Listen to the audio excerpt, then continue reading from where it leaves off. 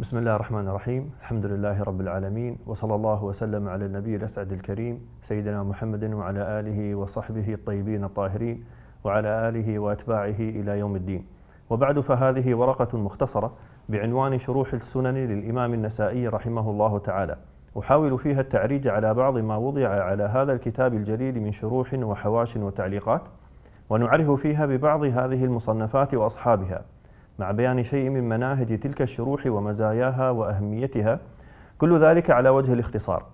ولا استقصي الشروح الموضوعة على هذا الكتاب وإنما أذكر أهمها إلى نهاية القرن الثالث عشر وبداية القرن الرابع عشر الهجري. وأقدم بين يدي ذلك مقدمة مقتضبة في التعريف بالإمام النسائي رحمه الله تعالى والتعريف بعلم الحديث الشريف والتعريف بعلم شرح الحديث الشريف. فأقول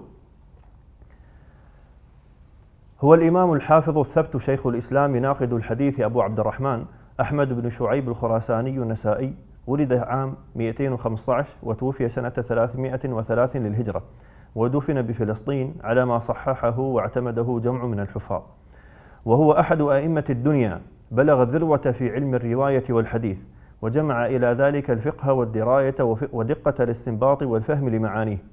بل كان أعلم أهل عصره بالحديث كما شهد له بذلك العلماء في مختلف العصور بعده. حتى فضلوه على الإمام مسلم وساووه بالبخاري وأبي زرعة الرازي رحمه الله, رحمه الله تعالى الجميع. وقد تكاثرت نصوص العلماء في الدلالة كذلك على فقه الإمام النسائي.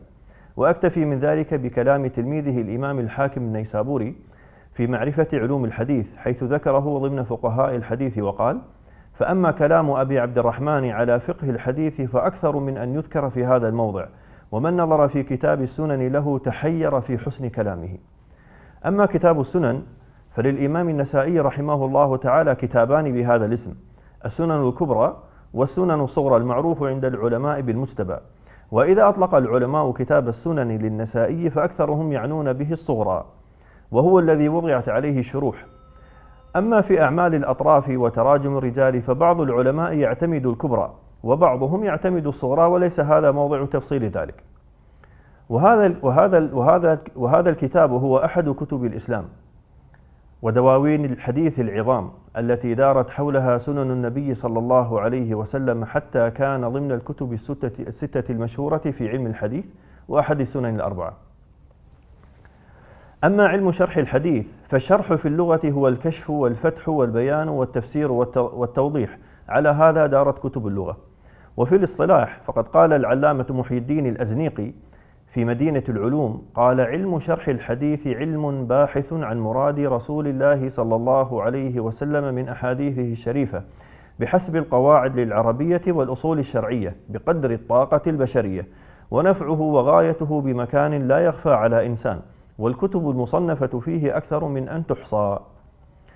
ويمكن أن نأخذ المعنى الاصطلاحي كذلك لشرح الحديث من قول الإمام الخطابي رحمه الله تعالى في مقدمة كتابه معالم السنن في سياق بيانه لسبب تأليفه في شرح سنن أبي داود السجستاني قال وما طلبتوه من تفسير كتاب السنن لأبي داود سليمان بن الأشعث وإيضاح ما يشكل من متون ألفاظه وشرح ما يستغلق من معانيه وبيان وجوه أحكامه والدلالة على مواضع الانتزاع والاستنباط من أحاديثه والكشف عن معاني الفقه المنطوية, المنطوية في ضمنها إلى آخر كلامه.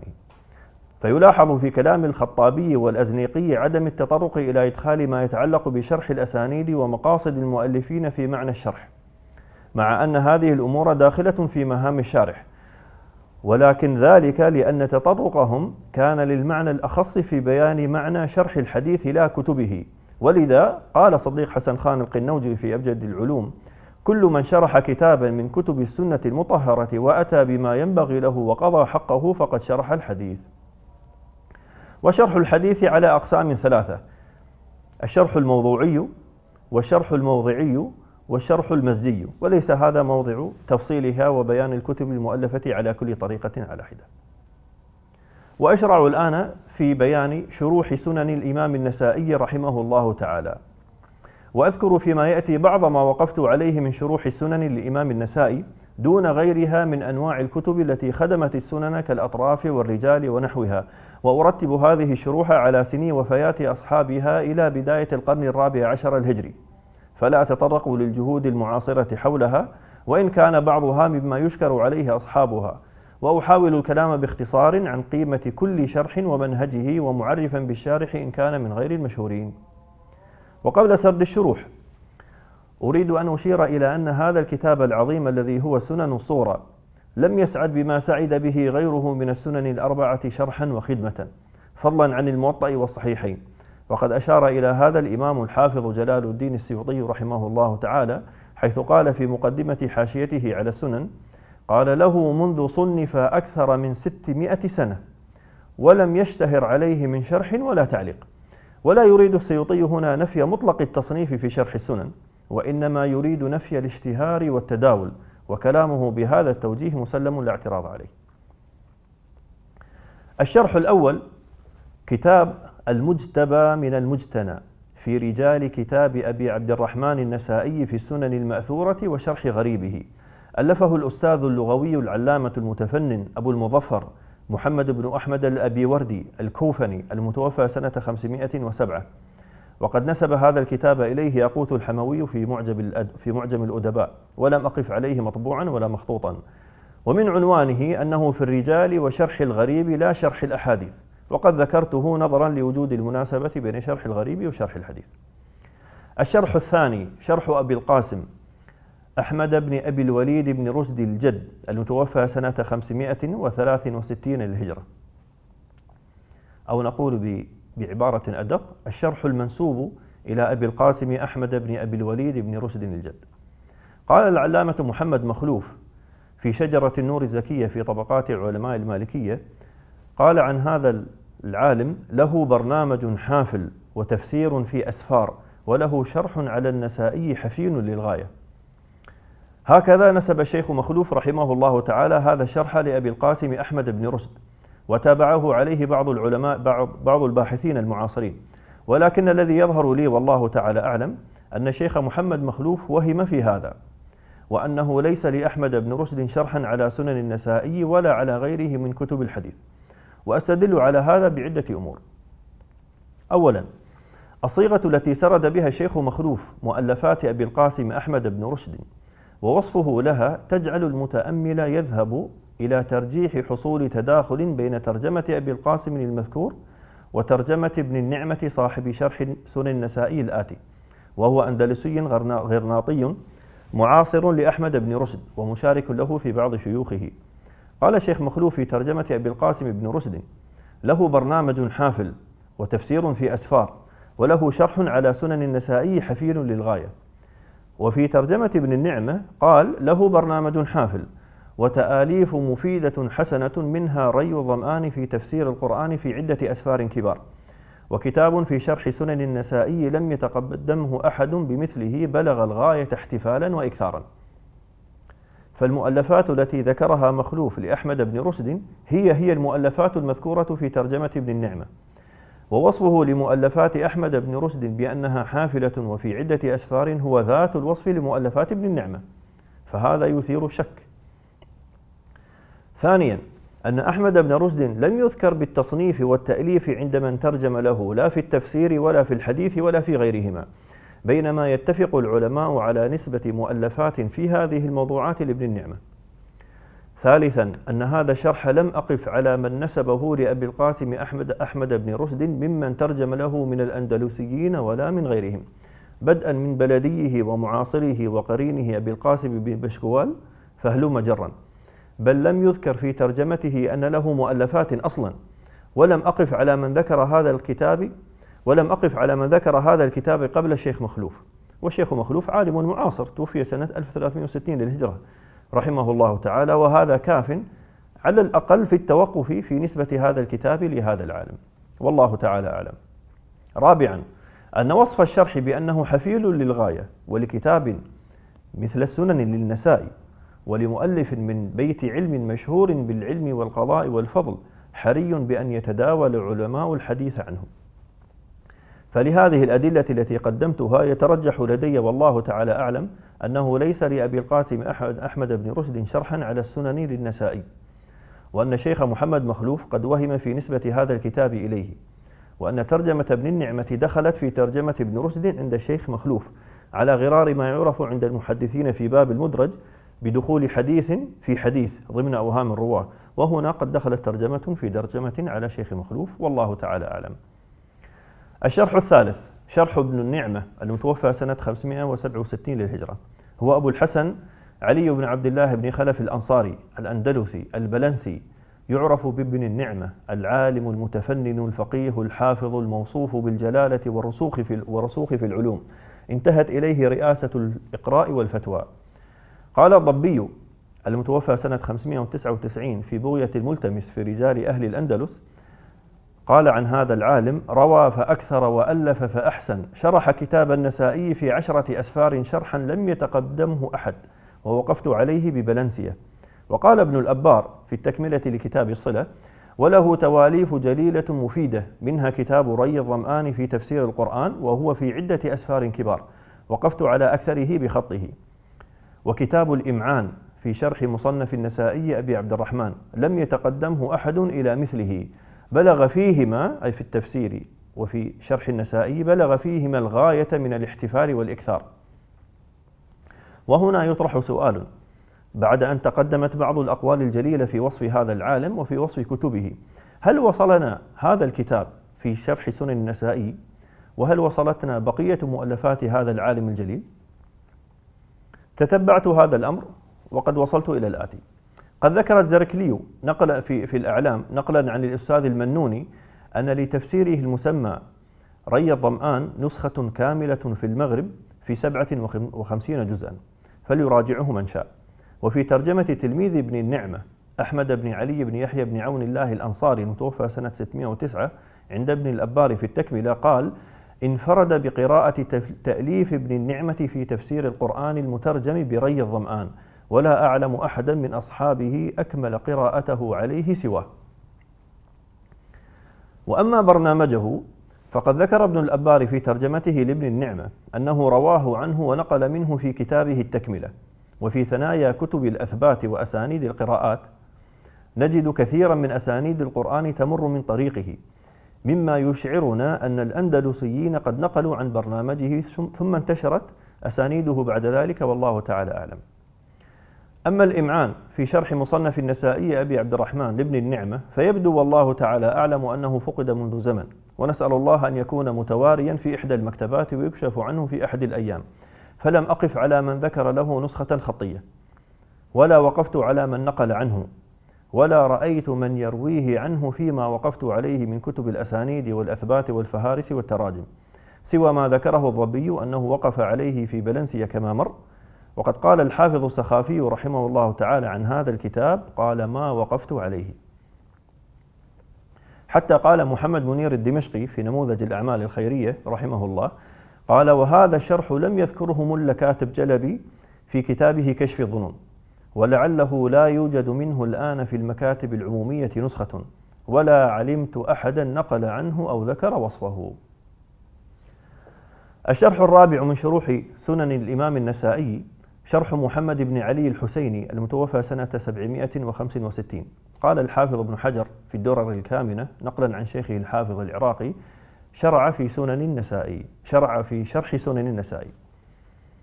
الشرح الخامس وليست عندنا معلومات أكثر عن هذا. الشرح الخامس شرح زوائد سنن النسائي لابن الملقن المتوفى سنة 804 قال الحافظ السخاوي في بغية الراغب المتمني شرح زوائده السراج أبو حفص بن الملقن وسبيله فيه كسبيله في شرح زوائد غيره. فقد شرح ابن الملقن زوائد مسلم على صحيح البخاري وشرح زوائد سنن أبي داود على الصحيحين وشرح زوائد الترمذي وابن ماجه وهذا شرحه على زوائد النسائي. ولم أقف عليه مطبوعا أو مخطوطا. والله تعالى أعلم. الشرح السادس. القول المعتبر في ختم النسائي رواية ابن الأحمر للحافظ شمس الدين السخاوي المتوفى سنة 902 للهجرة رحمه الله تعالى. ورواية ابن الأحمر هي للسنن الكبرى ترجم فيه السخاوي للنسائي وبين فضل كتابه السنن ومنزلته وأفاض في ذكر من ذهب إلى أن السنن من كتب الصحيح وبين شرطه في الرجال وذهب السخاوي في هذا الجزء أن المجتبى أي سنن الصغرى من اختيار ابن السني ولعله كان بأمر النسائي. ثم تراجع عن هذا القول بعد ذلك وهذه مسألة معروفة مشهورة عند المشتغلين بعلم الحديث. هل السنن الصغرى من وضع الإمام النسائي نفسه أم هي من وضع تلميذه ابن السني؟ وأن ابن السني اختصرها من من السنن الكبرى. هذا محل نظر وخلاف. الشرح السابع. بغية الراغب المتمني في ختم النسائي رواية ابن السني. كذلك للحافظ السخاوي المتوفى سنة 902 وهو ختم نفيس على هذا الكتاب. تحدث فيه الحافظ السخاوي رحمه الله تعالى بإسهاب عن منهج الإمام النسائي في كتابه هذا ومنزلته بين الكتب الستة. ووازن بينه وبين الصحيحين مبينا شرطه وشدة تحريه وفصل القول في طريقته في الأسانيد والمتون وتفسيره لهما. وذكر رواته وذكر من شروحه شرح ابن النعمة وشرح ابن الملقن فقط. فكأن السخاوي لم يقف إلا على هذين الشرحين. وترجم فيه للنسائي ونقل أقوال أهل العلم فيه. وفي هذا الجزء صحح السخاوي أن المجتبى ألفه النسائي نفسه بطلب من الأمير خلافا لرأيه الأول في القول المعتبر مع من أنه اختصار ابن السني بأمر من النسائي. ولم يشرح السخاوي في كتابه هذا شيئا من الأحاديث ولا في كتابه السابق وإنما ذكرته هنا للمناسبة بين موضوع شرح كتب الحديث وبين كتب الختمات وما فيها من شرح مقاصد المؤلفين في كتبهم وطريقتهم فيها مما له تعلق وصلة بموضوع شرح الكتاب. الشرح الثامن حاشية السيوطي المسماة زهر الربا على المجتبى وهي حاشية للإمام السيوطي المتوفى سنة 911 رحمه الله تعالى على السنن الصغرى. سار فيها على طريقته في حواشيه على بقية الكتب الستة, الستة. فهي تعليقات مختصرة مركزة بعبارات متينة تطول وتقصر. يعرف فيها بالرواة ويشرح الغريب ويأتي على معاني الحديث وينثر فوائد كثيرة أثناء الشرح. ويورد من الشروح التي سبقته غرر الفوائد والمعاني اللغوية والفقهية وغيرها. ولكنه لا يشرح كل الأحاديث ولا كل, ولا كل الحديث الواحد وإنما يشرح شيئا ويترك شيئا. وقد قدم هذا قدم هذه الحاشية بمقدمة يسيرة تكلم فيها عن سنن النسائي وشرطه فيه. وهذا وهذه الحاشية هي أول كتاب من شروح النسائي التي تصل إلينا. الشرح التاسع حاشية السندي المتوفى سنة 1138 للهجرة. هو نور الدين محمد بن عبد الهادي التتوي السندي ثم المدني. وصف بالحفظ والتحقيق. له عدة حواش على كتب العلماء ومنها حواشيه على الكتب الستة في الحديث ومنها حاشيته على سنن النسائي الصغرى. اعتنى فيها بضبط الألفاظ وشرح الغريب والإعراب. وربما شرح مراد النسائي في تبويباته مبينا دقة نظره في الاستنباط ويعتني بفقه الحديث باختصار شديد تارة ودون التوسط تارة حسب طبيعة الكتاب. ويشير أحيانا إلى أقوال العلماء واختلافاتهم وربما أورد بعض الإشكالات وأجاب عنها ولكن ليس من مقصده استيعاب الآراء الفقهية ولا الخلافات المذهبية وأدلة العلماء وفي حاشيته لا يعتني بعلوم الإسناد. من ترجمة الرواة وضبط أسمائهم وبيان الاتصال والانقطاع ونحوها من المباحث الحديثية. وقد طبعت السنن الصغرى للنسائي مع حاشيتي السيوطي والسندي مرارا. وهما أي حاشية السيوطي وحاشية السندي مكملتان لبعضهما. ومع ذلك فإن مجموع الحاشيتين لا تعطيان الكتاب حقه من الشرح. ومع ذلك فهما أكثر الشروح تداولا وشهرة وقبولا بين العلماء.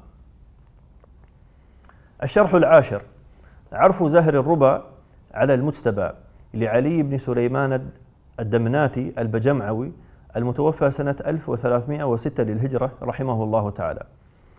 وحاشيته هذه طبعت في حياة المؤلف بالمغرب سنة 1299 للهجرة في مجلد لطيف وهي اختصار بل نقول اعتصار لحاشية السيوطي. وقد قام الشيخ البجمعوي البجمعوي رحمه الله باختصار كافة حواشي السيوطي على الكتب الستة وطبعت كلها في مجلدات صغار. وقد قدمت حاشية البجمعوي على غيره خلافا لشرطي في الترتيب آه، نظرا لارتباطه مع حاشية السيوطي. الشرح الحادي عشر تيسير اليسرى شرح المجتبى من السنن الكبرى. لعبد الرحمن بن أحمد البهكلي الضمدي التهامي اليمني المتوفى سنة 1248 للهجرة. بلغ في بلغ في هذا الشرح إلى كتاب الحج في خمسة مجلدات كبار وهو مقدار نصف السنن تقريبا واستوفى فيها مقاصد الشروح. وهذا أول كتاب يصلنا من من شروح سنن الإمام النسائي قام فيه صاحبه باستيفاء مقاصد الشروح سوى شرح ابن النعمة السابق ولكن ذاك الكتاب لم يصل إلينا. البهكلي كان من أسرة علمية وتلقى علومه على علماء بلده ضمد. ضمد هذه مدينة في ضمن إمارة جازان في المملكة العربية السعودية اليوم. بعد أخذه على علماء بلده ضمد رحل إلى صنعاء وأخذ عن شيوخها ولازم الشوكاني واشتغل آخر مدته بالسنة النبوية اشتغالا كليا إلى أن توفي رحمه الله تعالى. وطريقته في شرحه هذا أنه يترجم للرواة, للرواة كلهم معتمدا على تقريب ابن حجر وخلاصة الخزرجي ويخرج الأحاديث كلها من الكتب الستة معتمدا على تحفة الأشراف للمزي. وربما توسع في التخريج. ويذكر زيادات الكتب الستة في متون الأحاديث وهذه خدمة حسنة لكتاب السنن. ثم يشرح الغريب بعبارة حسنة لتمكنه من علم العربية ويعتني بالإعراب ويتكلم على المسائل اللغوية والبلاغية ويعتمد على كتب اللغة والغريب كالنهاية والقاموس المحيط ونحوهما كما يهتم بالحكم على الأسانيد صحة وضعفا مبينا علل الأحاديث وقد ينقل أحكام العلماء فيها ويشرح كلام الإمام النسائي على الأحاديث. أما في الفقه فيذكر, أقوى فيذكر الأقوال وأدلتها ويناقش بينها معتمدا في ذلك على فتح الباري لابن حجر وشرح النووي على مسلم وكتاب شيخه الشوكاني نيل الأوطار. وربما ناقش الشراح وشيخه وخالفه في بعض المسائل كمسألة اجتماع العيد والجمعة. ويذكر رأيه وترجيحه هو في المسائل متحررا من المذاهب الفقهية. ويكثر, ويكثر عنده النقل من كتب السادة الشافعية رضي الله تعالى عنهم نظرا لنشأته. كما يذكر أقوال الزيدية في المسائل الفقهية ناقلا إياها من كتبهم. أما في كتب بقية المذاهب الأربعة فغالبا يعتمد على نقل أقوالهم من من كتب شروح الحديث كابن حجر والنووي وهذا مما يؤخذ على على الكتاب في دقة آه، عزوه. وعند الفراغ من شرح كتاب من كتب السنن يذكر البهكلي عدد أحاديث ذاك الكتاب وعدد مسانيد الصحابة فيه رضي الله تعالى عنهم وعدد أحاديث كل واحد منهم ولهذا أهمية لا تخفى في ضبط أحاديث الكتاب وحصرها وهي ذات طريقة الحافظ بن حجر في فتح الباري. وقد حقق هذا الكتاب مؤخرا في رسائل علمية في بعض الجامعات السعودية ولكن للأسف قد فقد منه المجلد الأول والأخير. نسأل الله سبحانه وتعالى تيسير العثور عليهما, عليهما ونشر الكتاب كاملا. الشرح الثاني عشر. شرح سنن النسائي ليحيى بن المطهر بن إسماعيل اليماني المتوفى سنة 1268 للهجرة. وهو من تلاميذ الشوكاني وكان من علماء زيدية رحمه الله تعالى. ولم أقف, ولم أقف على شيء يفيدني حول هذا الكتاب إن كان مطبوعا أو مخطوطا. ثم بعد هذا الكتاب توالت شروح العلماء على سنن النسائي. من علماء المغرب والحجاز واليمن والشام وعلماء الهند وباكستان وباكستان وما والاها. ثم بعد آه نعم. ولكن غالب هذه الشروح هي تعليقات وحواش مختصرة في فك الألفاظ وضبط الكلمات والتعريف ببعض الرواة مع فوائد منثورة ولا تفي بمعظم مقاصد الشروح. وهذا ما أردت الإتيان عليه من آه، الحديث عن بعض الكتب التي ألفت في شرح سنن الإمام النسائي. وكما رأينا أن هذا الكتاب لم يعط من الحظ والنصيب والرزق ما رزقه بقية الكتب الستة. ولكن مع ذلك في الكتب في الشروح المذكورة خير كبير وفضل عميم. والحمد لله رب العالمين. والله تعالى أعلم. وصلى الله تعالى على سيدنا محمد وعلى آله الطيبين الطاهرين وصحبه الكرام البررة أجمعين وعلى جميع الأنبياء والمرسلين وتابعيهم بإحسان إلى يوم الدين. والحمد لله رب العالمين.